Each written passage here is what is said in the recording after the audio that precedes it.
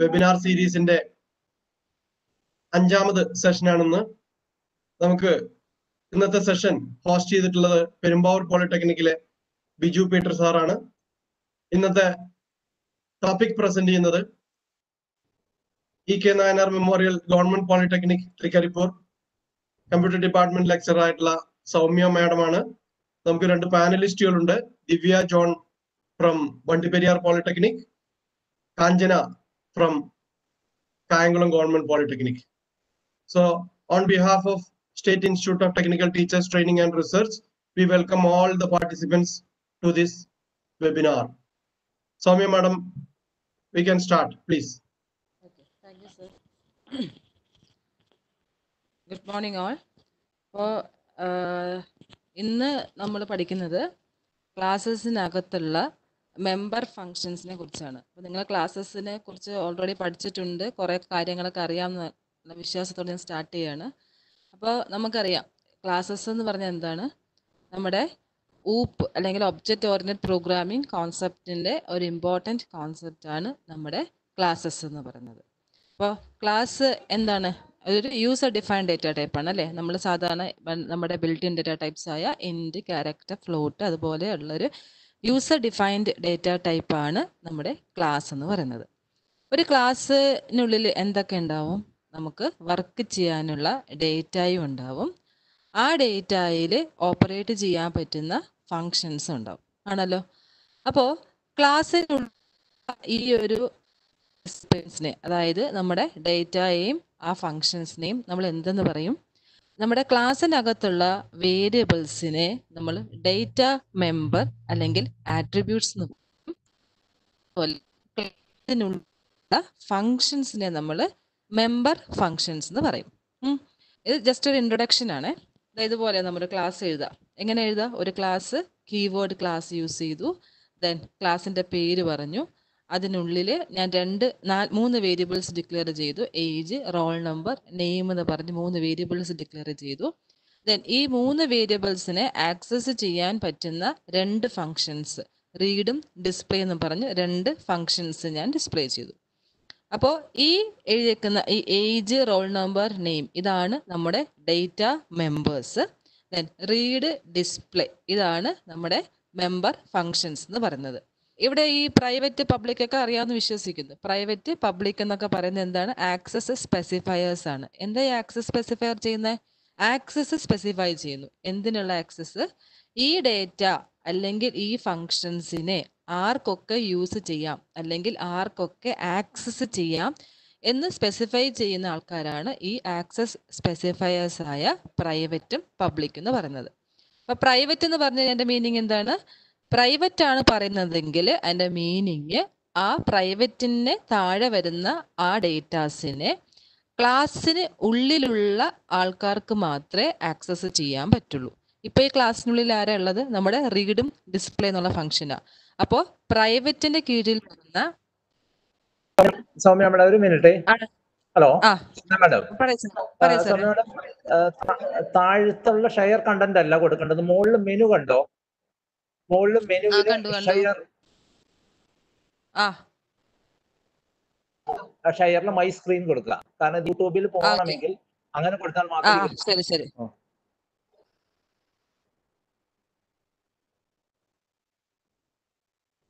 Hello?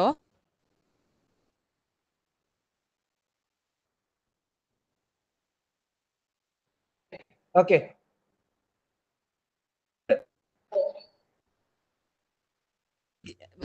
എനിക്കിപ്പോ slide കാണാൻ പറ്റുന്നില്ല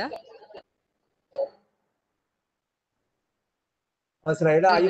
ഉള്ളൂല്ലോ ആ.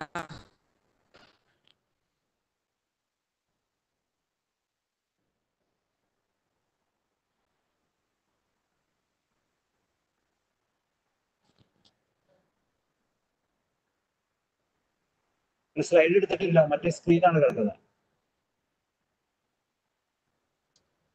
വെബെക്സിന്റെ സ്ക്രീനാണ് കിടക്കുന്നത് സ്ലൈഡ് കിട്ടിയിട്ടില്ല. ഓക്കെ ഞാൻ എടുക്കുമോ സാറേ ഒരു മിനിറ്റ്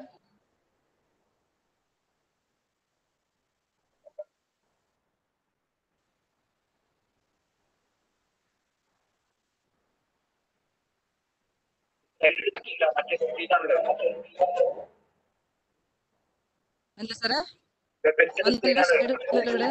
അത് മിനിമൈസ് ചെയ്യൂ. അത് മിനിമൈസ് ചെയ്തിട്ട് പി പി ടി എടുക്കും. വെബെക്സിന്റെ സ്ക്രീൻ മിനിമൈസ് ചെയ്തിട്ട് പി പി ടി എടുക്കും. ആ. Okay okay okay okay okay nice hi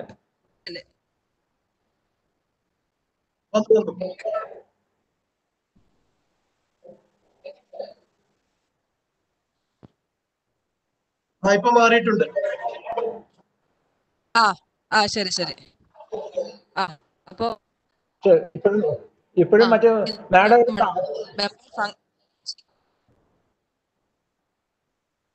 okay ശരിയല്ല സാർ? Okay okay. ആ. അപ്പോ നമ്മുടെ മെമ്പർ ഫങ്ഷൻസ് ആയ ഈ റീഡിനും ഡിസ്പ്ലേക്കുമാണ് ഇപ്പോ ഈ ഏജും റോൾ നമ്പർ എന്ന് നെയിം എന്ന് പറയുന്ന ഈ ഡേറ്റ മെമ്പേഴ്സിന് ആക്സസ് പ്രൊവൈഡ് ചെയ്തിട്ടുള്ളത്. അപ്പോ പബ്ലിക്കിന് കീഴിൽ വരുന്ന ഈ റീഡും ഡിസ്പ്ലേ എന്നും പറയുന്ന ഈ രണ്ട് ഫങ്ഷൻസിനെ ആർക്കൊക്കെ ആക്സസ് ചെയ്യാൻ പറ്റും?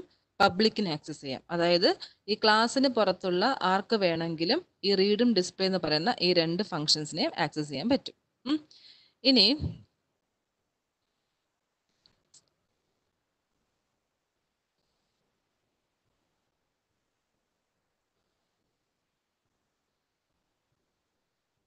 ഇനി ആർക്കൊക്കെ ആക്സസ് ചെയ്യാൻ പറ്റും? പബ്ലിക്കിന് ആക്സസ് ചെയ്യാം. അതായത് ഈ ക്ലാസ്സിന് പുറത്തുള്ള ആർക്ക് വേണമെങ്കിലും ഈ റീഡും ഡിസ്പ്ലേ എന്ന് പറയുന്ന ഈ രണ്ട് ഫങ്ഷൻസിനെയും ആക്സസ് ചെയ്യാൻ പറ്റും. ഇനി നെക്സ്റ്റ് ഇനി നമ്മൾ ഡീറ്റെയിൽ ആയിട്ട് പോകുന്നത് മെമ്പർ ഫങ്ഷൻസിലേക്കാണ് നമ്മൾ ഡീറ്റെയിൽ ആയിട്ട് പോവുക. മെമ്പർ ഫങ്ഷൻസ് എന്താണ്? നമ്മുടെ ക്ലാസ്സിന് ഉള്ളിൽ നമ്മൾ ഡിക്ലെയർ ഫങ്ഷൻസ് ഈ മെമ്പർ ഫംഗ്ഷന് നമ്മുടെ ക്ലാസ്സിനുള്ളിലുള്ള ഡേറ്റാസിന് ആക്സസ് ചെയ്യാം. ഇനി ഈ മെമ്പർ ഫങ്ഷൻസിനെ ഡിക്ലറേഷൻ നമ്മൾ എപ്പോഴും ക്ലാസ്സിന് ഉള്ളിൽ തന്നെ കൊടുക്കണം. ഡിക്ലറേഷൻ എന്ന് പറയുമ്പോൾ എന്താണ്? ഫംഗ്ഷൻ ഹെഡർ കൊടുത്തിട്ട് നമ്മൾ സെമിക്കോളം വെച്ച് സ്റ്റോപ്പ് ചെയ്യില്ലേ? ആ ഒരു സ്റ്റേറ്റ്മെന്റ് നമ്മൾ എപ്പോഴും ക്ലാസ്സിന് ഉള്ളിൽ തന്നെ കൊടുക്കണം. ഇനി ഫംഗ്ഷന്റെ മാഡം ഒരു മിനിറ്റ് ഇന്ററപ്റ്റ് ചെയ്തോട്ടെ. സോറി മാഡം ഇപ്പൊ മുകളിൽ മെനുവിൽ ഷെയർ കണ്ടന്റ് ആണ് മൈ സ്ക്രീൻ ആണ് കൊടുത്തിരിക്കുന്നത് മെനുവിൽ ഷെയർ താഴത്തെ ഷെയർ കണ്ടന്റ് അല്ലല്ലോ കൊടുത്തിരിക്കുന്നത് അല്ല താഴത്തെ ഷെയർ കണ്ടന്റ് അല്ല കൊടുക്കേണ്ടത് മെനു അതെ സാറേ മെനു മെനുവിലുള്ള മൈ സ്ക്രീൻ എടുത്തിട്ട് മൈ സ്ക്രീനിലുള്ള ഷെയർ കണ്ടന്റാ കൊടുത്തേക്കുന്നത്. മൈ സ്ക്രീൻ മാത്രം കൊടുത്താൽ പോരെ? മൈ സ്ക്രീൻ മാത്രം കൊടുത്താൽ മതിയല്ലോ. മുകളിൽ മെനുവിലെ ഫയൽ എടുത്തിട്ട് അതിൽ അതെ. മൈ സ്ക്രീനാ കൊടുത്തേക്കുന്നത് സാറേ okay just one minute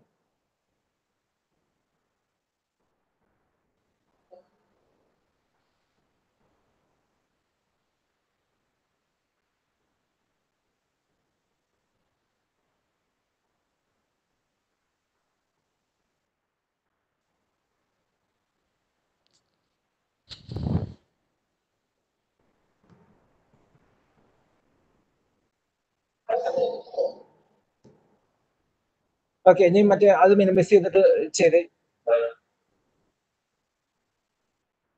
ഒരു മിനിറ്റ് സാറേ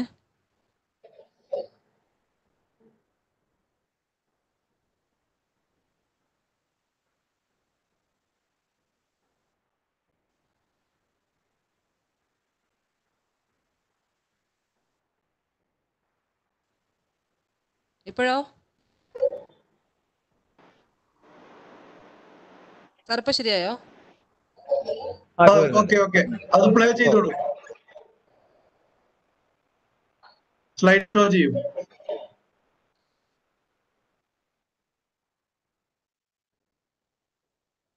Okay okay. ഓക്കെ. ഓക്കെ. ആ. യെസ് യെസ് ശരി. ആ. ഓക്കെ അപ്പോൾ ഞാൻ നേരത്തെ പറഞ്ഞ ഫംഗ്ഷന്റെ ഡിക്ലറേഷൻ നമ്മൾ ക്ലാസ്സിന് കൊടുക്കണം. അതിന്റെ ഡെഫിനിഷൻ എനിക്ക് ഒന്നുകിൽ ക്ലാസ്സിനുള്ളിൽ കൊടുക്കാം. അല്ലെങ്കിൽ ക്ലാസ്സിന് പുറത്ത് വേണമെങ്കിലും ഡെഫിനിഷൻ കൊടുക്കാം. അപ്പൊ ഡെഫിനിഷൻ കൊണ്ട് മീൻ ചെയ്യുന്നത് എന്താണ്? ക്ലാസ്സിന്റെ ഫംഗ്ഷന്റെ ആ ബോഡി എന്താണോ ഫംഗ്ഷന് വേണ്ടി എഴുതാൻ പോകുന്നത്? ആ ബോഡി എന്ന് പറയുന്നത് എനിക്ക് ക്ലാസ്സിനുള്ളിൽ കൊടുക്കാം. അല്ലെങ്കിൽ ക്ലാസ്സിന് പുറത്തും കൊടുക്കാൻ പറ്റും. ഇനി അപ്പോൾ ഫംഗ്ഷൻ നമ്പർ ഫംഗ്ഷന് എനിക്ക് എവിടെയൊക്കെ ഡിഫൈൻ ചെയ്യാം? ഒന്നുകിൽ ക്ലാസ്സിന് ഉള്ളിൽ എനിക്ക് അല്ലെങ്കിൽ എനിക്ക് ക്ലാസ്സിന് പുറത്ത് വേണമെങ്കിലും ആ മെമ്പർ ഫംഗ്ഷന്റെ എഴുതാൻ പറ്റും. അപ്പൊ അതിൽ ഫസ്റ്റ് കേസ് നോക്കാം. ക്ലാസ് ഡെഫിനിഷന് നമ്മൾ ക്ലാസ്സിന് ഉള്ളിൽ കൊടുക്കുന്ന കേസ് നമ്മൾ സാധാരണ ഫംഗ്ഷൻ എഴുതുന്ന പോലെ തന്നെയാണ്. പ്രത്യേകിച്ച് ഒന്നുമില്ല. ഫംഗ്ഷന്റെ റിട്ടേൺ ടൈപ്പ് പറയുക ഫംഗ്ഷന്റെ പേര് പറയുക ഫോമൽ പാരാമീറ്റേഴ്സ് ഉണ്ടെങ്കിൽ അത് പറയുക ഫംഗ്ഷന്റെ ബോഡി കൊടുക്കുക. നമ്മൾ സാധാരണ ഫംഗ്ഷൻ എഴുതുന്ന പോലെ അത് ക്ലാസ്സിനുള്ളിൽ വരുന്നേ ഉള്ളൂ. ക്ലാസ് കീവേഡ് പറഞ്ഞു ക്ലാസ്സിന്റെ പേര് പറഞ്ഞു ഐറ്റം എന്ന് പറഞ്ഞിട്ട്. ഞാൻ രണ്ട് ഡേറ്റ മെമ്പേഴ്സ് ഞാൻ പ്രൈവറ്റ് ആയിട്ട് ഡിക്ലെയർ ചെയ്തു. ഏതൊക്കെയാ? ഫ്ലോട്ട് എന്നും കോസ്റ്റ് എന്നും പറഞ്ഞ് രണ്ട് ഡേറ്റ മെമ്പേഴ്സ് ഞാൻ പ്രൈവറ്റ് ആയിട്ട് ഡിക്ലെയർ ചെയ്തു. ഇനി പബ്ലിക്കിൽ രണ്ട് ഫങ്ഷൻസ് വരുന്നുണ്ട്. ഗെറ്റ് ഡേറ്റ എന്ന് പറഞ്ഞൊരു ഫംഗ്ഷനും പുട്ട് ഡേറ്റ എന്ന് പറഞ്ഞൊരു ഫംഗ്ഷനും ഉണ്ട്. ഇനി ഈ get data void get data എന്നുള്ള ഹെഡർ എഴുതി ഞാൻ ബ്രാക്കറ്റ് ഓപ്പൺ ചെയ്തു ഫംഗ്ഷൻ സ്റ്റാർട്ട് ചെയ്തു ഫംഗ്ഷന്റെ ബോഡി എഴുതി ഫംഗ്ഷൻ ക്ലോസ് ചെയ്തു. അതുപോലെ വോയിഡ് ഞാൻ ഫംഗ്ഷന്റെ ഹെഡർ എഴുതി ഫംഗ്ഷൻ സ്റ്റാർട്ട് ബോഡി എഴുതി സ്റ്റോപ്പ് ചെയ്തു. ഈ ഫംഗ്ഷൻ ഡെഫിനിഷൻ എല്ലാം കഴിഞ്ഞിട്ടാണ് ഞാൻ ലാസ്റ്റ് നമ്മുടെ ഏതാ ക്ലാസ് സ്റ്റോപ്പ് ചെയ്യുന്നത്. ക്ലാസ് ക്ലോസ് ചെയ്തു ക്ലാസ് എൻഡ് ചെയ്യാനായിട്ട് സെമിക്കോളം കൊടുത്തു. ഇങ്ങനെ ക്ലാസ്സിന് ഉള്ളിൽ തന്നെ എനിക്ക് വേണമെങ്കിൽ ഇങ്ങനെ ഫൈൻ ചെയ്യാം. മെമ്പർ ഫംഗ്ഷന് ഡെഫിനിഷൻ ക്ലാസ്സിനുള്ളിൽ ഇതുപോലെ കൊടുക്കാം. സാധാരണ ഫംഗ്ഷൻ എന്ന പോലെ കൊടുക്കാം. ഇനി നെക്സ്റ്റ് വരുന്നതാണ് ക്ലാസ്സിന് പുറത്ത് ഫംഗ്ഷൻ ഡെഫിനിഷൻ കൊടുക്കുന്നത്. ക്ലാസ്സിന് പുറത്താണ് ഫംഗ്ഷൻ ഡെഫിനിഷൻ കൊടുക്കുന്നതെങ്കിൽ ഫംഗ്ഷന്റെ ഡിക്ലറേഷൻ അതായത് header followed by semicolon ആ ഡെക്ലറേഷൻ എന്ന് പറയുന്നത് ക്ലാസ്സിന് ഉള്ളിൽ തന്നെ കൊടുക്കണം. ഡെഫിനിഷൻ എവിടെ എനിക്ക് വേണമെങ്കിൽ ക്ലാസ്സിന് പുറത്ത് കൊടുക്കാൻ പറ്റും. അതിന്റെ സിൻഡാക്സ് അതായത് ഡെഫിനേഷൻ ഞാൻ പുറത്താണ് കൊടുക്കുന്നതെങ്കിൽ അതിന്റെ സിൻഡാക്സ് എന്ന് പറയുന്നത് ആദ്യം റിട്ടേൺ ടൈപ്പ് പറയുക. നേരത്തെ റിട്ടേൺ ടൈപ്പ് ഫംഗ്ഷൻ നെയിം മതിയായിരുന്നു. ഇവിടെ ഇതിന്റെ കൂടെ ഒരു ആളും കൂടെ വരും. അതായത് റിട്ടേൺ ടൈപ്പ് പറയണം. അതിന്റെ കൂടെ എ ക്ലാസിന്റെ ഫംഗ്ഷൻ ആണ് ഞാൻ പുറത്ത് ഡിഫൈൻ ചെയ്യാൻ പോകുന്നത്. അത് ഐഡന്റിഫൈ ചെയ്യാൻ വേണ്ടിയിട്ട് ക്ലാസിന്റെ ഇതിന്റെ കൂടെ ഒരു ഓപ്പറേറ്ററും കൂടെ യൂസ് ചെയ്യും. സ്കോപ്പ് റെസൊല്യൂഷൻ ഓപ്പറേറ്റർ നമ്മൾ പറയും. രണ്ട് രണ്ട് കുത്ത് രണ്ട് കോളൻ ഒരുമിച്ച് വരുന്നതാണ് സ്കോപ്പ് റെസൊല്യൂഷൻ ഓപ്പറേറ്റർ എന്ന് പറയുന്നത്. അപ്പൊ ഈ ക്ലാസ് നെയിമും ഈ സ്കോപ്പ് ഓപ്പറേറ്ററും കൂടെ ഒരുമിച്ചാണ് നമ്മുടെ കമ്പൈലറിന് ഇൻഫോർമേഷൻ കൊടുക്കുന്നത്. എന്ത് ഇൻഫർമേഷൻ കൊടുക്കുന്നത്? ഞാൻ ഇപ്പോൾ ഡിഫൈൻ ചെയ്യാൻ പോകുന്ന ഈ ഒരു ഫംഗ്ഷൻ എന്ന് പറയുന്നത് ഏത് ക്ലാസിന്റെ ഫംഗ്ഷൻ ആണ്. നമ്മൾ നോക്കിയേ. നമ്മൾ നേരത്തെ പറഞ്ഞ അതേ പ്രോഗ്രാം തന്നെയാണ് ക്ലാസ് എഴുതി അതിനുള്ളിൽ രണ്ട് ഡേറ്റ മെമ്പേഴ്സ് ആയ നമ്പറും കോസ്റ്റും ഞാൻ ഡിഫൈൻ ചെയ്തു. അതിനുള്ളിൽ നെക്സ്റ്റ് പബ്ലിക്കിനുള്ളിൽ ഞാൻ രണ്ട് ഫങ്ഷൻസ് ഗെറ്റ് ഡേറ്റായും പുട്ട് ഡേറ്റ എന്ന് പറഞ്ഞ രണ്ട് ഫങ്ഷൻസ് ഞാൻ ഡിക്ലെയർ ചെയ്തതേ ഉള്ളൂ. അവിടെ ഡെഫിനേഷൻ കൊടുത്തില്ല. ഡിക്ലെയർ ചെയ്തു ഞാൻ സെമി കോളം വെച്ച് സ്റ്റോപ്പ് ചെയ്തു ക്ലാസ്സും തീർന്നു. ക്ലാസ് ഞാൻ എൻഡ് ചെയ്തു. എന്റെ ഡെഫിനേഷൻ ഞാൻ എവിടെ കൊടുക്കുക ക്ലാസ് കഴിഞ്ഞിട്ട് ക്ലാസ്സിന് പുറത്താ കൊടുക്കുക അപ്പൊ എങ്ങനെ എന്റെ സിൻഡാക്സ് നേരത്തെ പറഞ്ഞതുപോലെ പിന്നെ റിട്ടേൺ ടൈപ്പ് പറയാ. പിന്നെ എന്താ പറയണ്ടേ? ക്ലാസിന്റെ പേര് പറയാം. എന്താ ക്ലാസിന്റെ പേര്? Item then scope resolution operator കൊടുക്കുക. പിന്നെ എന്താ കൊടുക്കേണ്ടത് എന്റെ ഫംഗ്ഷന്റെ പേരായ ഗെറ്റ് ഡേറ്റ കൊടുക്കുക. എന്നിട്ട് ഫംഗ്ഷന്റെ ബോഡി സാധാരണ എഴുതുന്ന പോലെ ബോഡി എഴുതി ക്ലോസ് ചെയ്തു. അതുപോലെ അടുത്ത ഫംഗ്ഷൻ വോയിഡ് ദെൻ ക്ലാസിന്റെ പേര് item then scope resolution operator then ഫംഗ്ഷന്റെ പേര് കൊടുക്കുക. നമ്മുടെ ഫംഗ്ഷന്റെ ബോഡി എഴുതുക. അപ്പൊ ഇതാണ് ക്ലാസ്സിന് പുറത്ത് ഞാൻ ഫംഗ്ഷൻ ഡിഫൈൻ ചെയ്യുമ്പോഴുള്ള സിൻഡാക്സ് അപ്പോൾ ഇതാണ് നമ്മുടെ മെമ്പർ ഫംഗ്ഷൻസ് രീതിയിൽ ഡിഫൈൻ ചെയ്യുന്നത് ഇൻസൈഡ് ദ ക്ലാസ്സും ഔട്ട്സൈഡ് ദ ക്ലാസ്സും ഇനി ഒരു ടൈപ്പ് രണ്ട് ടൈപ്പ് ഫംഗ്ഷൻസ് കൂടെ നോക്കാം. ഫസ്റ്റ് ടൈപ്പാണ് ഇൻലൈൻ ഫംഗ്ഷൻസ് എന്ന് പറയുന്നത്. ഇൻലൈൻ ഫംഗ്ഷൻസ് എന്താന്ന് പറഞ്ഞാൽ ഒരു ഫംഗ്ഷൻ കോൾ വരുമ്പോൾ എന്താ ചെയ്യുക? ഇപ്പൊ ഇവിടെ എനിക്ക് void F U N C എന്ന് പറഞ്ഞൊരു ഫംഗ്ഷൻ ഉണ്ട്. ആ ഫംഗ്ഷനെ ഞാൻ ഇവിടെ പ്രോഗ്രാമിനുള്ളിൽ കോൾ ചെയ്യണം നോർമലി ഒരു ഫംഗ്ഷൻ കോൾ വരുമ്പോൾ ആ ഫംഗ്ഷൻ കോൾ സ്റ്റേറ്റ്മെന്റിൽ നിന്ന് കൺട്രോൾ എങ്ങോട്ടേ എവിടെയാണോ ഫംഗ്ഷൻ ഡിഫൈൻ ചെയ്തേക്കുന്നത് അങ്ങോട്ടേക്ക് കൺട്രോൾ പോകും. ആണല്ലോ? അപ്പൊ ഇവിടെ ഞാൻ ഇവിടെ ഫംഗ്ഷൻ കോൾ വന്നപ്പോൾ ഇവിടുന്ന് ഫംഗ്ഷൻ നമ്മുടെ കൺട്രോൾ എങ്ങോട്ട് പോയി? ഇങ്ങോട്ടേക്ക് പോയി. അതായത് ഫംഗ്ഷൻ ഡിഫൈൻ ചെയ്തേക്കുന്ന എവിടെയാണോ അങ്ങോട്ടേക്ക് പോയി. ഇനി അവിടെ ഈ ഫംഗ്ഷൻ ഫുള്ള് ഫംഗ്ഷൻ തീരുമ്പോൾ എന്ത് ചെയ്യും? എങ്ങ എവിടെയാണോ എവിടെ നിന്നാണോ വിളിച്ചത് അങ്ങോട്ടേക്ക് തിരിച്ചു പോകും അതുപോലെ വീണ്ടും അതേ ഒരു ഫംഗ്ഷൻ കോളിംഗ് വന്നിട്ടുണ്ട്. അപ്പൊ എന്താ ചെയ്യുക ഫംഗ്ഷൻ കൺട്രോൾ അങ്ങോട്ടേക്ക് പോയി ഫംഗ്ഷൻ ഫുള്ള് വർക്ക് ചെയ്തു വർക്ക് ചെയ്തിട്ട് തിരിച്ച് ഫംഗ്ഷൻ ഫംഗ്ഷൻ കോൾ ചെയ്ത സ്റ്റേറ്റ്മെന്റിലേക്ക് നമ്മുടെ കൺട്രോൾ വന്നു. അപ്പൊ ഇതുപോലെ ഓരോ ഫംഗ്ഷൻ കോൾ വരുമ്പോഴും ഇങ്ങനെ എവിടെയാണോ ഫംഗ്ഷൻ ഡിഫൈൻ ചെയ്തേക്കുന്നത് അങ്ങോട്ടേക്ക് ജമ്പ് ചെയ്യണം. അപ്പൊ ഓരോ തവണ ഇങ്ങനെ ജമ്പ് ചെയ്ത് പോകുമ്പോൾ എന്താ പ്രശ്നം എന്ന് വെച്ചാൽ കുറെ കാര്യങ്ങൾ ഇതിൽ നടക്കുന്നുണ്ട്. ഫംഗ്ഷൻ അങ്ങോട്ട് പോകുമ്പോൾ ഇതുവരെ യൂസ് ചെയ്ത പാരാമീറ്റേഴ്സ് ഒക്കെ നമുക്ക് സ്റ്റാക്കിൽ പുഷ് ചെയ്യേണ്ടി വരും. ദെൻ ഇവിടെ ഫംഗ്ഷൻ തീർന്നു കഴിഞ്ഞാൽ ഇവിടുന്ന് തിരിച്ച് ഇങ്ങോട്ട് പോകണമെങ്കിൽ ഇത് എങ്ങോട്ടാ പോകേണ്ട അഡ്രസ് ആ അഡ്രസ് എവിടെയെങ്കിലും സ്റ്റോർ റിട്ടേൺ അഡ്രസ്സ് സ്റ്റോർ ചെയ്യേണ്ടി വരും. അങ്ങനെ സ്റ്റാക്കിൽ കുറെ പുഷും പോപ്പും ഓപ്പറേഷനൊക്കെ പെർഫോം ചെയ്യേണ്ടതായിട്ട് വരും. അപ്പൊ ഇങ്ങനെ അപ്പൊ അതിനൊരു ഓവർഹെഡ് ഉണ്ട്. കുറച്ച് സമയം എടുക്കും. അപ്പൊ ഇതുപോലെ ഇപ്പൊ കുഞ്ഞു കുഞ്ഞു ഫങ്ഷൻസ് വരുന്ന കേസിൽ ഒത്തിരി തവണ വിളിക്കുകയാണെന്നുണ്ടെങ്കിൽ ആ ഒരു ഫങ്ഷൻ ആ കോളിങ്ങിന്റെ ആ ജമ്പിങ്ങിനും സേവിങ്ങിനും വേണ്ടിയിട്ട് തന്നെ നമുക്ക് കുറേ സമയം വേസ്റ്റ് ആയി പോകും. അപ്പൊ അതുകൊണ്ട് എന്താ ചെയ്തതെന്ന് വെച്ച് കഴിഞ്ഞാൽ ഇങ്ങനെ ഒത്തിരി തവണ ഫങ്ഷൻ ചെറിയ ചെറിയ ഫങ്ഷൻസ് വിളിക്കുന്ന കേസിൽ കൂടി ചെറിയ ഫങ്ഷൻസ് ആണ്. അതിന് നമ്മൾ ഒരുപാട് തവണ ഇനി വിളിക്കേണ്ട കേസിൽ എന്താ ചെയ്യാന്ന് വെച്ച് കഴിഞ്ഞാൽ ഈ ജമ്പിങ് എന്നുള്ള ഈ ഓവർഹെഡ് അല്ലെങ്കിൽ ഇങ്ങനെ പോകുന്ന ആ ഓവർഹെഡ് അവോയ്ഡ് ചെയ്യാൻ വേണ്ടിയിട്ട് നമ്മൾ ആ ഫങ്ഷൻസിനെ ഇൻലൈൻ ഫങ്ഷൻ ആയിട്ട് നമ്മൾ ഡിക്ലെയർ ചെയ്യും. ഇനി എന്താണ് ഇൻലൈൻ ഫങ്ഷൻസ് എന്ന് പറഞ്ഞാൽ ഇൻലൈൻ ആക്കാനായിട്ട് പ്രത്യേകിച്ച് ഒന്നും ചെയ്യണ്ട. നമ്മൾ ഫംഗ്ഷൻ ഹെഡർ ഇല്ലേ? നമ്മുടെ വോയിഡ് ഡേറ്റ എന്നൊക്കെ എഴുതുമല്ലോ ആ ഫംഗ്ഷൻ ഹെഡറിന് മുന്നേ ഒരു കീവേഡ് കൊടുത്താൽ മതി. ഇൻലൈൻ എന്ന് പറഞ്ഞ ഒരു കീവേഡ് കൊടുത്താൽ മതി. അത്ര മാത്രം ചെയ്താൽ മതി. ഇപ്പൊ ഇതാണ് സിൻഡാക്സ് ഒരു ഇൻലൈൻ ഫംഗ്ഷൻ ക്രിയേറ്റ് ചെയ്യാനുള്ള സിൻഡാക്സ് ഇതാണ്. ആദ്യം എന്താ കൊടുക്കേണ്ടത്? നമ്മുടെ ഇൻലൈൻ എന്നുള്ള കീവേഡ് കൊടുക്കുക. അതിനെ ഫോളോ ചെയ്തിട്ട് നമ്മുടെ ഫംഗ്ഷൻ ഹെഡർ എന്താന്ന് വെച്ചാൽ അതങ്ങനെ കൊടുക്കുക. എന്നിട്ട് സാധാരണ പോലെ നമ്മുടെ ഫംഗ്ഷൻ ബോഡി എഴുതുക. പിന്നെ കൊടുത്തോണ്ടുള്ള ഗുണം എന്താന്ന് വെച്ച് കഴിഞ്ഞാൽ ഒരു ഫംഗ്ഷനെ ഞാൻ ആണ് ഡിക്ലെയർ ചെയ്തേക്കുന്നത് ഡിഫൈൻ ചെയ്തേക്കുന്നതെങ്കിൽ ആ ഫംഗ്ഷനെ കോൾ ചെയ്യുമ്പോൾ ഫംഗ്ഷൻ എവിടെയാണോ ഡിഫൈൻ ചെയ്തേക്കുന്നത് അങ്ങോട്ടേക്ക് കൺട്രോൾ പോവില്ല. കൺട്രോൾ പോവാതെ ഫംഗ്ഷന് ഉള്ളിലുള്ള അതിന്റെ ബോഡി എന്താണോ അതിനെ ഫംഗ്ഷൻ കോളിംഗ് സ്റ്റേറ്റ്മെന്റ് അവിടെ കൊണ്ടുവന്ന് റീപ്ലേസ് ചെയ്യും. അതായത് ഇതുപോലെ. ഇതാ നമ്മുടെ പ്രോഗ്രാം ആ പ്രോഗ്രാമിനുള്ളിൽ നേരത്തെ അതേ പ്രോഗ്രാം തന്നെയാണ്. ഞാൻ രണ്ട് തവണ എഫ് യു എൻ സി എന്ന് പറഞ്ഞ ഫംഗ്ഷനെ കോൾ ചെയ്തു. പക്ഷേ ഇപ്പോൾ നോക്കുമ്പോൾ ഞാൻ ഈ ഫംഗ്ഷൻ എന്തായിട്ടാണ് ഡിക്ലെയർ ചെയ്തേക്കുന്നത്?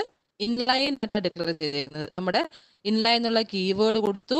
അതിനെ ഫോളോ ചെയ്തിട്ട് നമ്മുടെ function ഹെഡറായ void F U N C എന്ന് കൊടുത്തു. ദെൻ നമ്മുടെ ഫംഗ്ഷന്റെ ബോഡി എഴുതി.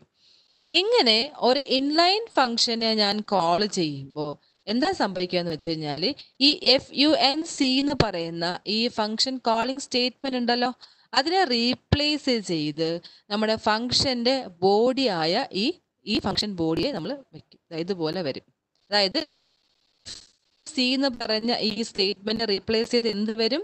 നമ്മുടെ ഈ എഫ് യു എൻ സി എന്ന് പറയുന്ന ഫംഗ്ഷനിലെ ബോഡി എന്താണോ ആ സ്റ്റേറ്റ്മെന്റിന് നമുക്ക് ഇവിടെ കൊണ്ടുവന്ന് വെക്കും. അപ്പൊ എന്താ അതിനുള്ള ഗുണമാണ് നമുക്ക് ഓരോ ഫംഗ്ഷൻ കോൾ വരുമ്പോഴും നമുക്ക് ജമ്പിംഗ് എന്നുള്ള ഓവർഹെഡ് ഇല്ല. അതുകൊണ്ട് നമുക്ക് സ്റ്റാക്ക് ഒരുപാട് യൂസ് ചെയ്യേണ്ടി വരില്ല. ഫംഗ്ഷന് ആ കോളിംഗ് ആ ഫംഗ്ഷൻ എക്സിക്യൂഷന്റെ എനിക്ക് കുറയ്ക്കാൻ പറ്റും. അപ്പൊ ഇതാണ് ഇൻലൈൻ ഫങ്ഷൻസ് എന്ന് പറയുന്നത്. അപ്പോൾ ഒരു സാധാരണ ഫംഗ്ഷനെ ഇൻലൈൻ ആക്കാനായിട്ട് എന്ത് ചെയ്താൽ മതി? ഇൻലൈൻ എന്നുള്ള കീവേഡ് യൂസ് ചെയ്താൽ മതി. ഫംഗ്ഷൻ ഹെഡറിന് മുന്നേ ഇൻലൈൻ ഉള്ള കീവേഡ് കൊടുക്കുക. ഇൻലൈൻ ഫംഗ്ഷൻ ആക്കി കഴിഞ്ഞാൽ ഒരു നമ്മൾ ആ ഫംഗ്ഷൻ കോൾ ചെയ്യുന്ന സമയത്ത് ഫംഗ്ഷൻ കോളിംഗ് സ്റ്റേറ്റ്മെന്റിൽ നിന്ന് കൺട്രോൾ ഫംഗ്ഷനിലേക്ക് പോകാണ്ട് ആ ഫംഗ്ഷൻ കോളിംഗ് ചെയ്ത് എന്ത് വരും? ഫംഗ്ഷന്റെ ബോഡി വരും. ഇതാണ് ഇൻലൈൻ ഫംഗ്ഷൻസ് എന്ന് പറഞ്ഞത്. ഇതൊരു എക്സാമ്പിളാണ് നമ്മുടെ ഒരു സി പ്ലസ് പ്ലസ് പ്രോഗ്രാമാണ് അതിനുള്ളിൽ ഞാൻ ഒരു ഇൻഡ് സം എന്ന് പറഞ്ഞിട്ട് ഒരു ഫംഗ്ഷൻ ഉണ്ട്. രണ്ട് ആർഗ്യുമെന്റ്സ് റിസീവ് ചെയ്യുന്നുണ്ട്. അതിന് ഞാൻ എന്താക്കി ഡിഫൈൻ ചെയ്തേക്കാണ്? ഇൻലൈൻ ആക്കിയിട്ട് ഡിഫൈൻ ചെയ്തേക്കാണ്. ഇൻലൈൻ കീവേഡ് യൂസ് ചെയ്തിട്ട്. ദെൻ മെയിൻ ഫംഗ്ഷനുള്ളിൽ ഞാൻ എന്ത് ചെയ്തു? ഈ സം എന്ന് പറയുന്ന ഈ ഒരു ഫംഗ്ഷനെ ഞാൻ കോൾ ചെയ്തു. സം എ കൊമ ബി എന്ന് പറഞ്ഞിട്ട് ഈ ഫംഗ്ഷനെ കോൾ ചെയ്തു. കോൾ ചെയ്യുമ്പോൾ എന്ത് ചെയ്യണ്ടേ? ഈ ഒരു കോളിംഗ് സ്റ്റേറ്റ്മെന്റിനെ റീപ്ലേസ് ചെയ്ത് എന്ത് വരും? നമ്മുടെ ബോഡിയായ ഈ എക്സ് പ്ലസ് വൈക്ക് പകരം എന്താ? എക്സിന് പകരം എ എന്ന് പറഞ്ഞ ആർഗ്യുമെന്റ് വരും അല്ലേ?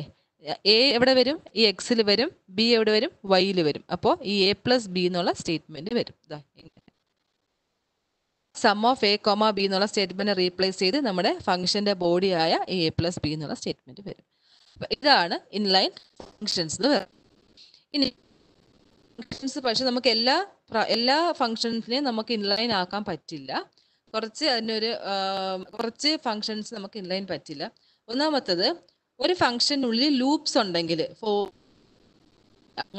ലൂപ്സ് ഉണ്ടെങ്കിൽ ആ ലൂപ്പിംഗ് സ്റ്റേറ്റ്മെന്റ് ഉള്ള ഫംഗ്ഷൻസിനെ എനിക്ക് ഇൻലൈൻ ആക്കാൻ പറ്റില്ല. രണ്ടാമത്തത് ഫംഗ്ഷനിൽ സ്റ്റാറ്റിക് വേരിയബിൾസ് എന്തെങ്കിലും യൂസ് ചെയ്യുന്നുണ്ടെങ്കിലും ഇൻലൈൻ പറ്റില്ല. ദെൻ റിക്കേഴ്സീവ് ഫംഗ്ഷൻസിന് പറ്റില്ല. ദെൻ ഫംഗ്ഷനുള്ളിൽ സ്വിച്ച് ഗോ ടു അങ്ങനെ ജമ്പിങ് സ്റ്റേറ്റ്മെന്റ്സ് ഉണ്ടെങ്കിൽ അതും പറ്റില്ല. ഇനി ഒരു ഫംഗ്ഷന് ഒരു വാല്യൂ റിട്ടേൺ ചെയ്യുന്നുണ്ട്. റിട്ടേൺ ടൈപ്പ് വോയിഡ് അല്ല ഇൻഡ് ആണ് ആ ഫംഗ്ഷന്റെ പക്ഷേ ആ ഫംഗ്ഷന്റെ ബോഡിയിൽ റിട്ടേൺ സ്റ്റേറ്റ്മെന്റ് ഇല്ല എന്നുണ്ടെങ്കിൽ പറ്റില്ല. ഇവിടെ അല്ലെ? കാരണം ഈ ആണ്. ഇൻഡ് ആണ് അതിന് എന്ത് സ്റ്റേറ്റ്മെന്റ് ഉണ്ട് ബോഡിക്കുള്ളിൽ റിട്ടേൺ സ്റ്റേറ്റ്മെന്റ് ഇങ്ങനെയുള്ള ഫങ്ഷൻസ് പറ്റും. ഇൻ കേസ് ഞാൻ ഇൻഡ് ആണ് റിട്ടേൺ ടൈപ്പ് കൊടുത്തത്. പക്ഷെ റിട്ടേൺ സ്റ്റേറ്റ്മെന്റ് ഞാൻ എഴുതിയില്ല. എന്റെ ഫംഗ്ഷന്റെ ബോഡിയിൽ റിട്ടേൺ സ്റ്റേറ്റ്മെന്റ് ഇല്ല. അങ്ങനെയാണെന്നുണ്ടെങ്കിൽ ആ ഫംഗ്ഷനെ എനിക്ക് ഇൻലൈൻ ആക്കാൻ പറ്റില്ല. ഇപ്പൊ function return type other than void ഒരു റിട്ടേൺ ടൈപ്പ് ഉള്ള ഫംഗ്ഷൻ ആണ്. പക്ഷേ return statement doesn't exist in the function body പക്ഷേ ഫംഗ്ഷൻ ഉള്ളിൽ റിട്ടേൺ സ്റ്റേറ്റ്മെന്റ് ഇല്ല എന്നുണ്ടെങ്കിൽ ആ ഫംഗ്ഷനെ എനിക്ക് എന്താക്കാൻ പറ്റില്ല? ഇൻലൈൻ ഫംഗ്ഷൻ ആക്കി എനിക്ക് ഡിഫൈൻ ചെയ്യാൻ പറ്റില്ല. അപ്പോൾ ഇതാണ് ഇൻലൈൻ ഫങ്ഷൻസ് എന്ന് പറയുന്നത്. അതിന്റെ യൂസ് ചെയ്യാൻ പറ്റാത്ത കേസസ് ആണ് ഇത്. പിന്നെ ഉള്ളതാണ് നമ്മുടെ അപ്പോൾ ഇൻലൈൻ ആകുന്ന അഡ്വാന്റേജ് എന്താ? ഞാൻ നേരത്തെ പറഞ്ഞു തന്നെയാണ്. ഒന്നാമത്തത് ഫംഗ്ഷൻ കോളുമായിട്ട് അസോസിയേറ്റ് ചെയ്തിരിക്കുന്ന എന്തെങ്കിലും ഓവർ ഹെഡ് ഉണ്ടെങ്കിൽ ആ നമ്മുടെ ഈ പുഷിങ്ങും പോപ്പിംഗ് ഒക്കെ ഉള്ളത് അത് നമുക്ക് അവോയ്ഡ് ചെയ്യാം. ഇൻലൈൻ ഫംഗ്ഷൻ യൂസ് ചെയ്യുമ്പോൾ. നേരത്തെ രണ്ടാമത്തത് പറഞ്ഞു തന്നെയാണ്. പുഷിങ്ങും പോപ്പിംഗ് ഉണ്ടാവില്ല പിന്നെ മൂന്നാമത്തത് നേരത്തെ പറഞ്ഞു ഫംഗ്ഷൻ എക്സിക്യൂട്ട് ചെയ്ത് കഴിഞ്ഞാൽ എവ ആരാണോ ഫംഗ്ഷനെ വിളിച്ചിട്ട് അങ്ങോട്ടേക്ക് കൺട്രോൾ പോകണം തിരിച്ചു പോകണം ആണല്ലോ? അപ്പോൾ റിട്ടേൺ അഡ്രസ്സ് നമ്മൾ സേവ് ചെയ്യണം. അപ്പോൾ ഇൻലൈൻ ആക്കി കഴിഞ്ഞാൽ നമുക്ക് ഇങ്ങനെ ജമ്പിംഗ് ഒന്നും ഇല്ലാത്തതുകൊണ്ട് എന്ത് സേവ് ചെയ്യേണ്ട കാര്യമില്ല? റിട്ടേൺ അഡ്രസ്സ് സ്റ്റോർ ചെയ്യേണ്ട കാര്യമില്ല. ഇതാണ് ഇൻലൈൻ ഫങ്ഷൻസിന്റെ അഡ്വാന്റേജ് എന്ന് പറയുന്നത്. ഇനി ഒരു ഫംഗ്ഷൻ കൂടി ഒരു ടൈപ്പ് ഫംഗ്ഷൻ കോൺസെപ്റ്റ് കൂടെ ഉണ്ട്. ഫംഗ്ഷൻ ഓവർലോഡിംഗ് എന്ന് പറയുന്നത്. ഫംഗ്ഷൻ ഓവർലോഡിംഗ് എന്ന് പറഞ്ഞാൽ ഇപ്പോൾ എനിക്കൊരു പ്രോഗ്രാം തന്നു. ആ പ്രോഗ്രാമിനുള്ളിൽ എനിക്ക് മൂന്ന് ഷേപ്സ് സർക്കിൾ സ്ക്വയർ റെക്റ്റാങ്കിൾ അങ്ങനെ മൂന്ന് ഷേപ്സിന്റെ ഏരിയ കാണാനുള്ള പ്രോഗ്രാമാണ് പിന്നെ എനിക്കൊരു ഒരു ഇൻസ്ട്രക്ടർ തന്നിട്ടുണ്ട്. ഈ സർക്കിൾ സ്ക്വയർ റെക്റ്റാങ്കിൾ ഇത് മൂന്നിന്റെയും ഏരിയ കാണുന്ന കോഡ് ഫങ്ഷൻ ആക്കി എഴുതാൻ പറഞ്ഞിട്ടുണ്ട്. അപ്പം ഞാൻ എന്ത് ചെയ്യും? സ്വാഭാവികമായിട്ട് നമ്മൾ മൂന്ന് ഫംഗ്ഷൻ എഴുതും അല്ലേ? സർക്കിളിന്റെ മൂന്നിന് മൂന്ന് കോഡല്ലേ ഡിഫറെന്റ് കോഡാണല്ലോ അപ്പോൾ ഞാൻ മൂന്ന് ഫംഗ്ഷൻ ഡിഫൈൻ ചെയ്യും. Area circle area square area rectangle എന്ന് പറഞ്ഞ് മൂന്ന് ഫംഗ്ഷന്റെ ഡിഫൈൻ ചെയ്തു. അപ്പോൾ ഫംഗ്ഷനും ചെയ്യുന്നത് ലോജിക്കലി ഒരു കാര്യം തന്നെയാണ് അല്ലെ? മൂന്ന് കാര്യം മൂന്ന് ഫംഗ്ഷനും ചെയ്യുന്നത് എന്ത് തന്നെയാണ്? ഷേപ്പിന്റെ ഏരിയ കണ്ടുപിടിക്കുകയാണ്. ലോജിക്കൽ ലോജിക്കലി അത് സെയിം കാര്യമാണ് ചെയ്യുന്നത്. പക്ഷെ അതിനകത്ത് എഴുതുന്ന കോഡിൽ മാത്രമേ വ്യത്യാസമുള്ളൂ. ആണല്ലോ? അപ്പൊ എനിക്ക് ഈ മൂന്ന് ഫംഗ്ഷനും ഇങ്ങനെ ഡിഫറെന്റ് പേര് കൊടുക്കാതെ ഒറ്റ പേര് കൊടുക്കാൻ പറ്റുകയാണെങ്കിൽ കുറച്ചുകൂടെ നന്നായിരുന്നു അല്ലേ? ഏരിയ എന്ന് മാത്രം കൊടുത്തെങ്കിൽ നന്നായിരുന്നു കുറച്ചുകൂടെ. അപ്പൊ എനിക്ക് എന്താണ് ഗുണം എന്താണ്? ഒരുപാട് ഫംഗ്ഷൻ നെയിംസ് വരില്ല. നമ്മുടെ പ്രോഗ്രാമിൽ ഒരുപാട് ഫംഗ്ഷൻ നെയിംസ് വരില്ല. റീഡബിലിറ്റിക്ക് കുറച്ചുകൂടെ നന്നായിരുന്നു. അപ്പൊ ആ ഒരു കോൺസെപ്റ്റ് ഇംപ്ലിമെന്റ് ചെയ്യാൻ വേണ്ടിയിട്ടാണ് നമ്മുടെ ഫംഗ്ഷൻ ഓവർലോഡിങ് യൂസ് ചെയ്യുന്നത്. ഫംഗ്ഷൻ ഓവർലോഡിങ് വെച്ച് നമുക്ക് എന്താ വെച്ച് കഴിഞ്ഞാൽ ഇതുപോലെ ലോജിക്കലി സിമിലർ ആയിട്ടുള്ള ഓപ്പറേഷൻസ് ചെയ്യുന്ന ഫങ്ഷൻസിന് എനിക്ക് ഒരു പേര് കൊടുക്കാം. അപ്പൊ ഈ മൂന്ന് ഫംഗ്ഷന് പകരം മൂന്ന് ഫംഗ്ഷൻ നെയിംസിന് പകരം എനിക്ക് ഒറ്റ ഫംഗ്ഷൻ നെയിം കൊടുക്കാം. ഏരിയ എന്ന് പറഞ്ഞ് ഒരു ഫംഗ്ഷൻ നെയിം കൊടുക്കാം. അപ്പോൾ ഒരു ഡൗട്ട് ഈ മൂന്ന് ഈ മൂന്ന് ഇത് സർക്കിളിന്റെ ആണ് ഇത് സ്ക്വയർ അപ്പൊ ഒരു ഡൗട്ട് ഉണ്ടാവില്ലേ? അപ്പൊ എന്താ ചെയ്യാന്ന് വെച്ച് കഴിഞ്ഞാൽ മൂന്ന് ഫംഗ്ഷനും സെയിം നെയിം ആണെങ്കിലും അവർ റിസീവ് ചെയ്യുന്ന പാരാമീറ്റേഴ്സ് അല്ലെങ്കിൽ അവ ആ ഫംഗ്ഷനിലെ ഫോർമൽ പാരാമീറ്റേഴ്സ് അറിയാലോ? ആ ഫംഗ്ഷൻ ഹെഡ് പാരാമീറ്റേഴ്സ് ആ പാരാമീറ്റേഴ്സ് ഡിഫറെന്റ് ആയിരിക്കും. ഡിഫറെന്റ് എന്ന് പറയുന്നത് ഒന്നുകിൽ ആ പാരാമീറ്റേഴ്സിന്റെ എണ്ണം നമ്പർ ഡിഫറെന്റ് ആയിരിക്കും. അല്ലെങ്കിൽ ആ പാരാമീറ്റേഴ്സിന്റെ ടൈപ്പ് ഡിഫറെന്റ് ആയിരിക്കും. ഇതാണ് ഫങ്ഷൻ ഓവർലോഡിംഗ് എന്ന് പറയുന്നത്. അതായത് നമുക്ക് ഒരു പ്രോഗ്രാമിനുള്ളിൽ we can write multiple functions ഒന്നിൽ കൂടുതൽ ഫങ്ഷൻസ് എഴുതാം. ആ എല്ലാ ഫങ്ഷനും എനിക്ക് നെയിം കൊടുക്കാം. നെയിം ആയിരിക്കും. പക്ഷേ ആ ഫങ്ഷൻസ് റിസീവ് ചെയ്യുന്ന പാരാമീറ്റേഴ്സിന്റെ നമ്പർ അല്ലെങ്കിൽ ടൈപ്പ് ഡിഫറെന്റ് ഇങ്ങനെ നമ്മൾ എഴുതുന്നതിനാണ് ഫങ്ഷൻ ഓവർലോഡിംഗ് എന്ന് പറയാം. അപ്പൊ ഈ കേസ് നോക്കിയേ ഞാൻ ഫസ്റ്റ് എ എന്ന് പറഞ്ഞ ആ ഒരു ആ ഒരു ഫംഗ്ഷന് പകരം ഏരിയ ആക്കി രണ്ടാമത്തെ ഏരിയ സ്ക്വയറിന് പകരം ഏരിയ തന്നെയാണ് ഏരിയ റെക്ടാങ്കിളിന് പകരം ഏരിയ തന്നെയാണ്. പക്ഷെ എന്താ വ്യത്യാസം വന്നേ? നമ്മുടെ ഫസ്റ്റ് ഫംഗ്ഷൻ ആയ ഈ ഏരിയ ഇൻഡിജർ ആർഗ്യുമെന്റ് കൊടുത്ത് ഒറ്റ ആർഗ്യുമെന്റേ ഉള്ളൂ. ഒരു ആർഗ്യുമെന്റ് അതിന്റെ ടൈപ്പ് ഇൻഡിജർ രണ്ടാമത്തെ ഫംഗ്ഷനും ഒറ്റ ആർഗ്യുമെന്റേ ഉള്ളൂ. അപ്പോൾ നോക്കുമ്പോൾ രണ്ടും സെയിം അല്ലേ രണ്ടിലും ഒരു ആർഗ്യുമെന്റ് ആണ്. പക്ഷെ എന്താ ഡിഫറൻസ് ഇവിടെ? രണ്ടാമത്തെ ഒരു ആർഗ്യുമെന്റ് ഉള്ളെങ്കിലും അതിന്റെ ടൈപ്പ് എന്താണ്? ഫ്ലോട്ട് ആണ്. ഡിഫറെന്റ് ഇനി മൂന്നാമത്തെ ഫംഗ്ഷൻ വന്നപ്പോ അതിനെയും പേര് ഏഴ് തന്നെയാണ്. പക്ഷെ എന്താ ഡിഫറൻസ് നമ്പർ ഓഫ് ആർഗ്യുമെന്റ്സ് മറ്റേ രണ്ട് ഫംഗ്ഷനിൽ നിന്നും ഡിഫറെന്റ് ആണ്. ഇങ്ങനെ writing multiple functions having the same name differing either in the number of arguments or the type of arguments അതിനെയാണ് നമ്മൾ ഫങ്ഷൻ പറയാം മനസ്സിലായെന്ന് വിശ്വസിക്കുന്നു. അതായത് ഒന്നിൽ കൂടുതൽ ഫങ്ഷൻസ് എഴുതാം. ഫങ്ഷൻസ് എല്ലാം പേരിനായിരിക്കും പക്ഷെ അവർ റിസീവ് ചെയ്യുന്ന ആർഗ്യുമെന്റ്സിന്റെ നമ്പറിലോ ആർഗ്യുമെന്റ്സിന്റെ ടൈപ്പിലോ നമുക്ക് ഡിഫറൻസ് വരുത്തി എങ്ങനെ എഴുതാൻ പറ്റും. ഇതാണ് ഫങ്ഷൻ ഓവർലോഡിംഗ് എന്ന് പറയാം. അതാണ് function overloading allows us to use the same function name for different functions എന്താണ് readability then we can change the number of arguments or have different data types of arguments. തന്നെയാണ്. ഇപ്പൊ രണ്ട് function ഉണ്ട്. Max തന്നെയാണ് രണ്ട് ഫംഗ്ഷന്റെ പേര്. ഇവിടെ രണ്ട് പാരാമീറ്റേഴ്സും ഇവിടെയും രണ്ട് പാരാമീറ്റേഴ്സ് ആണ്. പക്ഷെ ഇവിടെ എന്ത് ഡിഫറെന്റ് ആണ്? ഇവ രണ്ടിന്റെയും ആർഗ്യുമെന്റ്സ് ടൈപ്പ് ഡിഫറെന്റ് ആണ്. ഇവിടെ ഇൻഡിജർ ടൈപ്പ് ആർഗ്യുമെന്റ് ആണെങ്കിൽ ഇവിടെ ഫ്ലോട്ടിംഗ് ടൈപ്പ് ആർഗ്യുമെന്റ് ആണ് യൂസ് ചെയ്യുന്നത്. ഇനി ഇത് ഇവിടെ ഇപ്പൊ ടെസ്റ്റ് എന്ന് പറഞ്ഞ് നാല് ഫംഗ്ഷൻ വന്നു. ഫസ്റ്റിനകത്ത് ആർഗ്യുമെന്റ്സ് ഒന്നുമില്ല. രണ്ടാമത്തേനകത്ത് ഒരു ഇൻഡിജർ ആർഗ്യുമെന്റ് ഇവിടെ ഒരു ഡബിൾ ആർഗ്യുമെന്റ് ഇവിടെ ഒരു ഇൻഡിജർ ആർഗ്യുമെന്റും രണ്ട് ഒരു ഡബിൾ ആർഗ്യുമെന്റും അപ്പൊ ഇത് ഈ നാല് ഫംഗ്ഷൻസ് എന്താണ്? ഓവർലോഡഡ് ഫംഗ്ഷൻസ് ആണ്. ഇതാണ് ഫംഗ്ഷൻ ഓവർലോഡിങ്ങിന്റെ കോൺസെപ്റ്റ് എന്ന് പറയുന്നത്.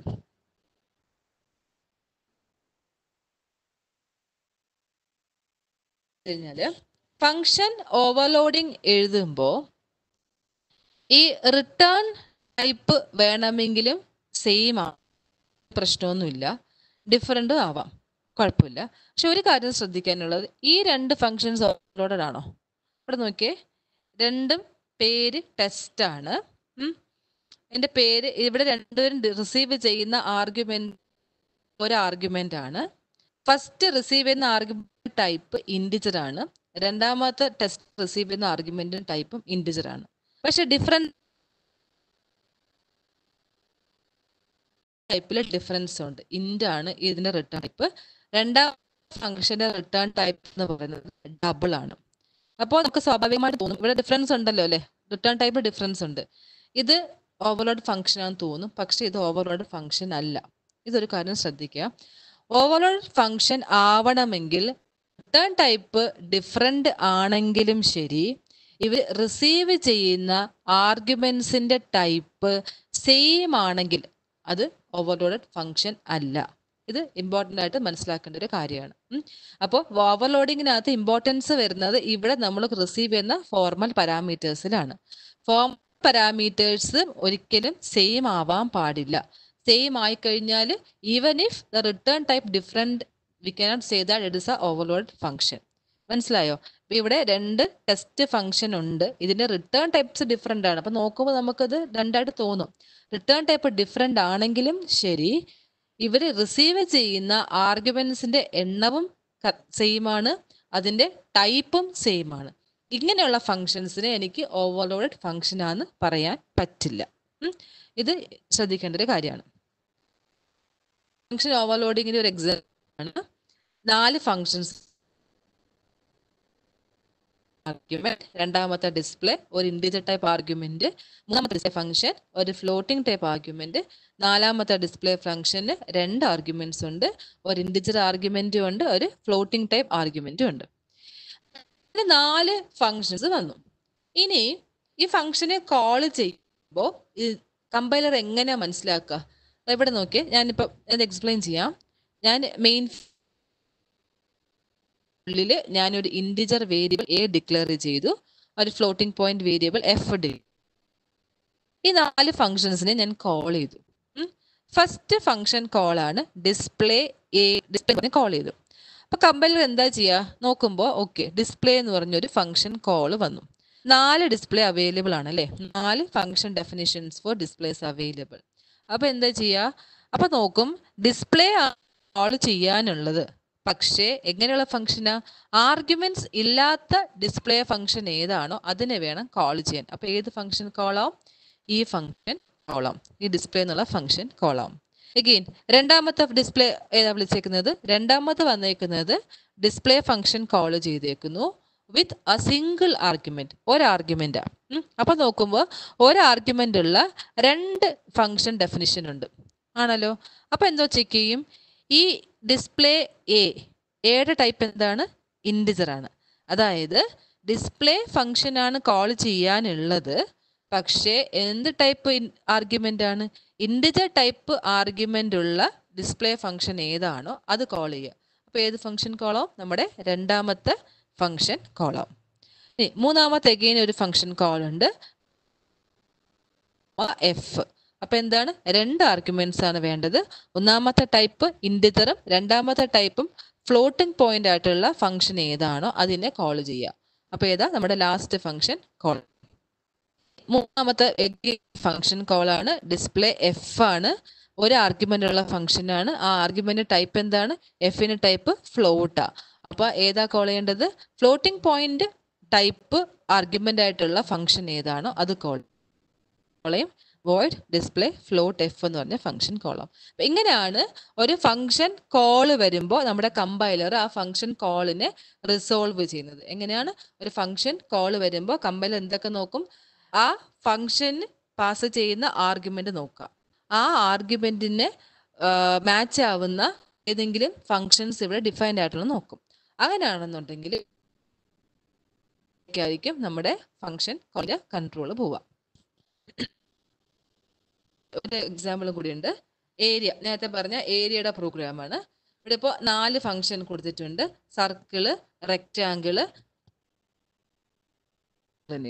റെക്റ്റാങ്കിൾ അതായത് ഫ്ലോട്ടിംഗ് പോയിന്റ് ആർഗ്യുമെന്റ്സ് ഉള്ള റെക്റ്റാങ്കിളിന്റെ ആർഗ്യുമെന്റ് ഏരിയ ഒന്ന് ഇൻഡിജർ ആർഗ്യുമെന്റ്സ് റിസീവ് ചെയ്തിട്ടുള്ള ഏരിയ കാണുന്ന പ്രോഗ്രാമാണ് ഫംഗ്ഷനുമാണ് എഴുതിയേക്കുന്നത്. വീണ്ടും റെക്റ്റാങ്കിൾ ഏരിയ തന്നെയാണ്. ഒന്ന് ഇൻഡിജർ ടൈപ്പ് ഒന്ന് ഫ്ലോട്ടിംഗ് പോയിന്റ് കാണുന്ന ഫംഗ്ഷനുമാണ് ഓക്കെ അപ്പോൾ വോയിഡ് മെയിനുള്ളിൽ ഞാൻ എന്നിട്ട് ഈ നാല് ഫംഗ്ഷൻസിനെ കോൾ ചെയ്തു ഫസ്റ്റ് ഫംഗ്ഷൻ എന്താ ചെയ്തിരിക്കുന്നത് ഫസ്റ്റ് ഏരിയ എന്ന് പറഞ്ഞ ഫംഗ്ഷൻ കോളിംഗിൽ പാസ് ചെയ്യുന്ന ആർഗ്യുമെന്റ് ആണ് ഫൈവ് അതായത് ഇൻഡിജർ ടൈപ്പ് ആർഗ്യുമെന്റ് ആണ് പാസ് ചെയ്യുന്നത്. ഇൻഡിജർ ടൈപ്പ് ആർഗ്യുമെന്റ് റിസീവ് ചെയ്യുന്ന ഫംഗ്ഷൻ ഏതാണ്? ഫസ്റ്റ് ഫംഗ്ഷൻ അല്ലെ? ഫംഗ്ഷൻ വണ്ണ് കോളം രണ്ടാമത്തത് area of five comma three അതായത് രണ്ട് ഇൻഡിജർ ആർഗ്യുമെന്റ്സ് റിസീവ് ചെയ്യുന്ന ഫംഗ്ഷൻ ഏതാ നോക്കുക. അപ്പൊ ഇതാ രണ്ടാമത്തെ function then again area seven comma two point one അതായത് ആദ്യത്തെ ആർഗ്യുമെന്റ് ഇൻഡിജറും രണ്ടാമത്തെ ആർഗ്യുമെന്റ് ഫ്ലോട്ടിംഗ് പോയിന്റ് ആയിട്ടുള്ള ഫംഗ്ഷൻ ഏതാ നോക്കുക. അതേതാ? ഫംഗ്ഷൻ ഫോർ ആണ് അല്ലേ? ആദ്യത്തേത് ഇൻഡിജറും രണ്ടാമത്തത് ഫ്ലോട്ടിങ്ങും അപ്പോൾ ആ ഫംഗ്ഷൻ കൊള്ളാം മൂന്നാമത്തെ എന്താണ്? ആദ്യത്തേത് ഫ്ലോട്ടിംഗ് പോയിന്റും രണ്ടാമത്തത് ഇൻഡിജർ ആയിട്ടുള്ള ഫംഗ്ഷൻ ഉണ്ടോ നോക്കുക. അങ്ങനെയാണെന്നുണ്ടെങ്കിൽ ഏത് കോളം നമ്മുടെ മൂന്നാമത്തെ ഫംഗ്ഷനാണ് ആദ്യത്തത് ഫ്ലോട്ടിംഗ് പോയിന്റും രണ്ടാമത്തത് ഇൻഡിജർ ആയിട്ടുള്ളത്. അപ്പൊ ഇങ്ങനെയാണ് ഒരു ഫംഗ്ഷൻ കോൾ വരുമ്പോഴത്തേക്കും ആ ഒരു ഫംഗ്ഷൻ കോൾ റിസീവ് റിസോൾവ് ചെയ്യുന്നത്.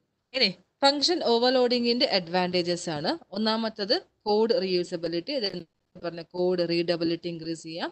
ദെൻ പ്രോഗ്രാമിന്റെ എക്സിക്യൂഷൻ സ്പീഡ് ഇൻക്രീസ് ചെയ്യാം. കോഡ് മെയിന്റനൻസ് ചെയ്യണം ഫംഗ്ഷൻ ഫംഗ്ഷൻ ഓവർലോഡിങ്ങിന്റെ നമുക്ക് ഒന്നിൽ കൂടുതൽ ഫംഗ്ഷൻസ് എന്റെ പ്രോഗ്രാമിനുള്ളിൽ സെയിം പേര് വെച്ച് എഴുതാം. അങ്ങനെ എഴുതുമ്പോൾ ആ ഫംഗ്ഷൻ തമ്മിൽ ഡിസ്റ്റിങ്ക്വിഷ് ചെയ്യാൻ വേണ്ടിയിട്ട് എന്ത് യൂസ് ചെയ്യും? ആ ഫംഗ്ഷൻ ചെയ്യുന്ന ആർഗ്യുമെന്റ്സിന്റെ എണ്ണമോ അല്ലെങ്കിൽ ഫങ്ഷൻസ് റിസീവ് ചെയ്യുന്ന ആർഗ്യുമെന്റ്സിന്റെ ടൈപ്പിലോ ഡിഫറൻസ് വരുത്താം. അങ്ങനെ എഴുതുന്ന ആ ഒരു ഫംഗ്ഷൻ ആണ് നമ്മൾ ഓവർലോഡഡ് ഫങ്ഷൻസ് എന്ന് പറയുന്നത്. Okay sir Siyad sir hello ആ യെസ് സാർ ഇന്നത്തെ ടോപ്പിക് ഇത്ര. ഉണ്ടായിരുന്നുള്ളൂ. ഓക്കെ ഓക്കെ റൈറ്റ് റൈറ്റ് കുട്ടികൾ ദിവ്യ ജോൺ പാനലിസ്റ്റ് കുട്ടികൾ പ്രത്യേകിച്ച് ചോദ്യമൊന്നും ചോദിച്ചിട്ടില്ല എന്ന് തോന്നുന്നു.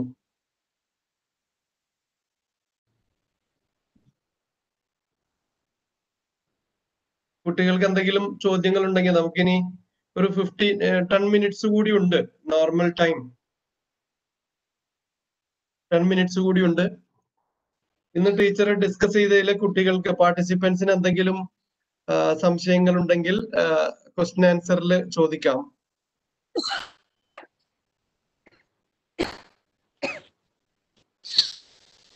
ഭവ്യരാജ് ഒന്നുകൂടി റിവൈസ് ചെയ്യുമെന്ന് ചോദിച്ചിട്ടുണ്ട്. പക്ഷെ മുഴുവൻ റിവൈസ് ചെയ്യാൻ പറ്റില്ലല്ലോ കുട്ടി. പകരം ഏതാണ് കൃത്യമായിട്ട് റിപ്പീറ്റ് ചെയ്യേണ്ട ടോപ്പിക് നമുക്കൊരു പത്ത് മിനിറ്റ് കൂടി ടൈം ഉണ്ട്. ഏതാണ് വേണ്ടതെന്ന് പറഞ്ഞാൽ ആ ഭാഗം മാത്രം റിപ്പീറ്റ് ചെയ്യാം. ഭവ്യരാജ്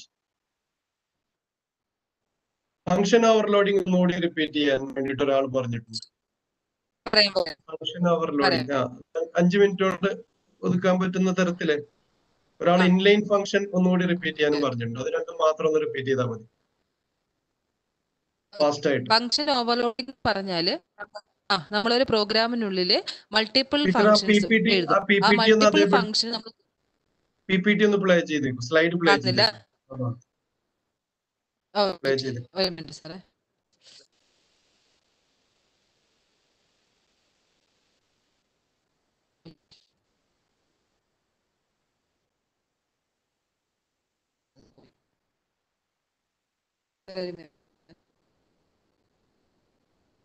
സാർ കാണുന്നുണ്ടോ? സ്ലൈഡ് ഷോ വന്നിട്ടില്ല. പഴയ പൊസിഷൻ തന്നെയാണ് കിടക്കുന്നത്.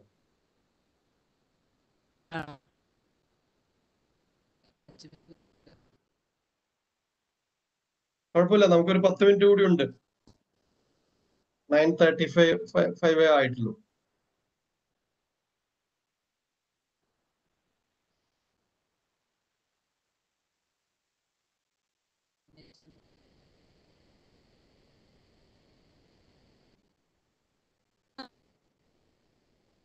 ഷെയ്ഡ് ആയിട്ടില്ല. സ്ലൈഡ് ഷോ വന്നിട്ടില്ല ശരിക്കും.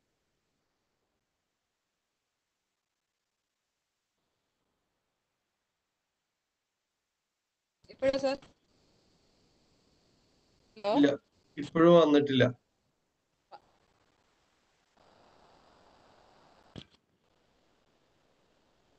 വേറൊരു സ്ക്രീനിൽ ടീച്ചർ നേരത്തെ slide show minimise ചെയ്തിട്ടിട്ടുണ്ട്. Okay okay correct. ഇപ്പൊ വന്നു. ഇപ്പൊ വന്നു. കറക്റ്റ് സ്ലൈഡ് എടുത്താൽ മതി.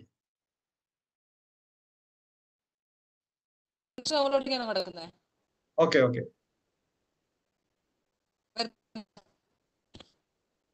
ഇപ്പോ ഇതിന്റെ കേസിൽ ഞാനിപ്പോ നാല് ഫംഗ്ഷൻ എഴുതിയിട്ടുണ്ട്. നാല് ഫംഗ്ഷന്റെ പേര് എന്ത് തന്നെയാണ്? ഡിസ്പ്ലേ തന്നെയാണ് ഈ നാല് ഫംഗ്ഷന്റെ പേര് എന്ന് പറയുന്നത്. അപ്പോൾ ഇതുപോലെ മൾട്ടിപ്പിൾ ഫംഗ്ഷൻസ് എനിക്ക് പ്രോഗ്രാമിൽ എഴുതാം. ആ മൾട്ടിപ്പിൾ ഫംഗ്ഷൻസ് പേര് എന്ത് തന്നെയായിരിക്കും? തന്നെയായിരിക്കും യൂസ് ചെയ്യുന്നത്. ഡിഫറൻസ് എന്തായിരിക്കും? അവർ റിസീവ് ചെയ്യുന്ന ആർഗ്യുമെന്റ്സ് ആർഗ്യുമെന്റ് ഇല്ല. രണ്ടാമത്തേൽ ഒരു ആർഗ്യുമെന്റ് ഉണ്ട്. മൂന്നാമത്തേലും ഒരു ആർഗ്യുമെന്റ് ആണ് ഉള്ളത്. പക്ഷെ തമ്മിൽ ഡിഫറൻസ് എന്താണ്? രണ്ടാമത്തെ ഫംഗ്ഷനിൽ റിസീവ് ചെയ്യുന്ന ആർഗ്യുമെന്റ് ടൈപ്പ് ഇൻഡിജർ ആണ്. മൂന്നാമത്തെ ഫംഗ്ഷനിൽ റിസീവ് ചെയ്യുന്ന ആർഗ്യുമെന്റ് ടൈപ്പ് ഫ്ലോട്ട് ആണ്. ഇതുപോലെ സെയിം നമ്പർ ഓഫ് ആർഗ്യുമെന്റ്സ് ആണ് വരുന്നെങ്കിൽ ടൈപ്പിൽ ഡിഫറൻസ് ഉണ്ടായിരിക്കും. Then നാലാമത്തെ ഫംഗ്ഷൻ വന്നപ്പോൾ എങ്ങനെയാണ് വന്നേക്കുന്നത്? രണ്ട് ആർഗ്യുമെന്റ്സ് ആണ് വന്നേക്കുന്നത്.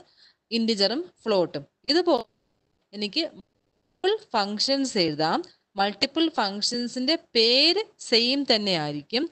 ഡിഫറൻസ് എവിടെ ആയിരിക്കും ഒന്നുകിൽ അവർ റിസീവ് ചെയ്യുന്ന ആർഗ്യുമെന്റ്സിന്റെ എണ്ണത്തിലെ ഡിഫറൻസ് ആയിരിക്കും.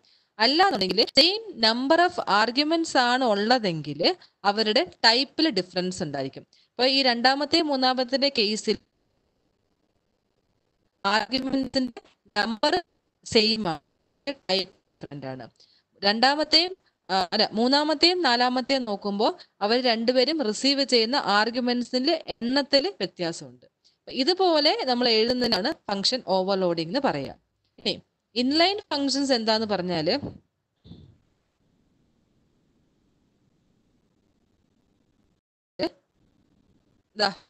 ഒരു ഫംഗ്ഷൻ കോൾ വരുമ്പോൾ ഫംഗ്ഷൻ കോളിംഗ് സാധാരണ എങ്ങനെയാ ഫംഗ്ഷൻ കോളിംഗ് വരുമ്പോൾ ഫംഗ്ഷൻ എവിടെയാണോ ഡിഫൈൻ ചെയ്തേക്കുന്നത് അങ്ങോട്ടേക്ക് ഫംഗ്ഷന്റെ കൺട്രോൾ കൺട്രോൾ പോയിട്ട് ആ ഫംഗ്ഷൻ ഫുള്ള് കംപ്ലീറ്റ് ചെയ്ത ശേഷമായിരിക്കും.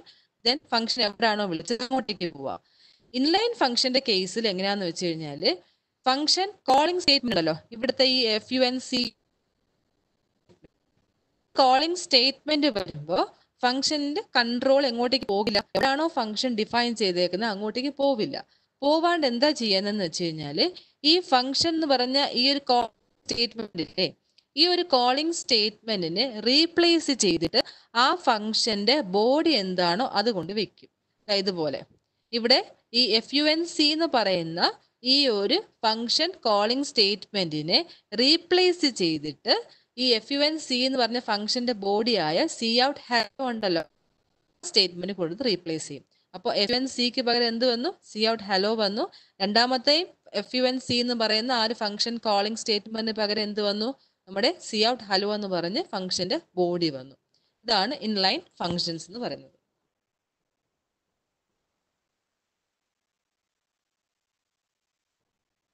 ഇൻലൈൻ ഫങ്ഷൻസ് ചില കണ്ടീഷൻസ് പറഞ്ഞല്ലോ. ഇൻലൈൻ ഫങ്ഷൻസ് ചില കണ്ടീഷനുകളിൽ പാടില്ല എന്ന് പറഞ്ഞിരുന്നു. അതൊന്ന് പറയാൻ പറഞ്ഞു. ഇപ്പൊ ഈ നേരത്തെ കേസിലൊക്കെ ഈ കേസിൽ പ്രശ്നമൊന്നുമില്ല. ജസ്റ്റ് ഒറ്റ നമുക്ക് പ്രശ്നമില്ലാതെ വർക്കാവും പക്ഷെ ലൂപ്പ് ഒക്കെ ഉണ്ടാവൂലേ? ലൂപ്പ് വൈ ലൂപ്പ് ഉണ്ടാവും. ഗോ ടു സ്റ്റേറ്റ്മെന്റ്സ് ഉള്ള ഫങ്ഷൻസ് ഉണ്ടാവും. അങ്ങനെയുള്ള ഫങ്ഷൻസ് ഉള്ള ആ ഫങ്ഷൻസ് എനിക്ക് ഇൻലൈൻ ആക്കാൻ പറ്റില്ല. അതാണ് ലൂപ്പ് ഉള്ള ഫങ്ഷൻസ് ദെൻ റിക്കർവ് ഇതുപോലെ കണ്ടിന്യൂസ് വർക്ക് ചെയ്യുന്നല്ലേ റിക്കേഴ്സീവ് ഫങ്ഷൻസ് പറ്റില്ല. അല്ലെങ്കിൽ ഉള്ള ഫങ്ഷൻ പറ്റില്ല. സ്റ്റാറ്റിക് വേരിയബിൾസ് ഡിഫൈൻ ചെയ്തേക്കുന്ന ഫങ്ഷൻസ് അങ്ങനെയുള്ള ഫങ്ഷൻസിൽ നമുക്ക് ഇൻലൈനിങ് പറ്റില്ല. അത് ഒരു കണ്ടീഷൻ കൂടെ പറയുന്നുണ്ട് അതായത് പോലെ അതായത് ഫംഗ്ഷന് റിട്ടേൺ ടൈപ്പ് ഉണ്ട്. വോയിഡ് അല്ല വോയിഡ് അല്ലാതെ ഏതെങ്കിലും റിട്ടേൺ ടൈപ്പ് ഫംഗ്ഷൻ ഈ കേസിൽ സം എന്ന് പറഞ്ഞ ഫംഗ്ഷൻ റിട്ടേൺ ടൈപ്പ് ഇന്റ് ആണ്. ഇതുപോലെ റിട്ടേൺ ടൈപ്പ് സ്പെസിഫൈ ചെയ്തേക്കുന്ന ഫങ് റിട്ടേൺ ടൈപ്പ് ഉണ്ടെങ്കിൽ റിട്ടേൺ സ്റ്റേറ്റ്മെന്റ് ഉണ്ടാവും. ഇല്ലെങ്കിലും കുഴപ്പമൊന്നുമില്ല. റിട്ടേൺ സ്റ്റേറ്റ്മെന്റ് ഉണ്ട്. റിട്ടേൺ സ്റ്റേറ്റ്മെന്റ് എഴുതിയിട്ടില്ല എങ്കിൽ അതായത് റിട്ടേൺ ഫംഗ്ഷന്റെ ബോഡിക്കുള്ളിൽ റിട്ടേൺ സ്റ്റേറ്റ്മെന്റ് ഇല്ല എന്നുണ്ടെങ്കിൽ ആ ഫംഗ്ഷൻ എനിക്ക് ഇൻലൈൻ ആക്കാൻ പറ്റില്ല. ഇതിന് കുഴപ്പമില്ല. എന്തുകൊണ്ടാണ് ഞാൻ സം എന്ന് പറയുന്ന ഈ ഒരു ഫംഗ്ഷന് റിട്ടേൺ ടൈപ്പ് ഇൻഡ് ആണെന്ന് പറഞ്ഞിട്ടുണ്ട്. അതിൽ ഞാൻ എന്തും കൊടുത്തിട്ടുണ്ട്. ഒരു റിട്ടേൺ സ്റ്റേറ്റ്മെന്റും കൊടുത്തിട്ടുണ്ട്. ഇത് അലൗഡ് ആണ്. പക്ഷേ റിട്ടേൺ ടൈപ്പ് സ്പെസിഫൈ ചെയ്തിട്ടുള്ള ഒരു ഫംഗ്ഷന്റെ ബോഡിക്കുള്ളിൽ റിട്ടേൺ സ്റ്റേറ്റ്മെന്റ് ഇല്ല എന്നുണ്ടെങ്കിൽ ആ ഫംഗ്ഷനെ എനിക്ക് ഇൻലൈൻ ആക്കാൻ പറ്റില്ല.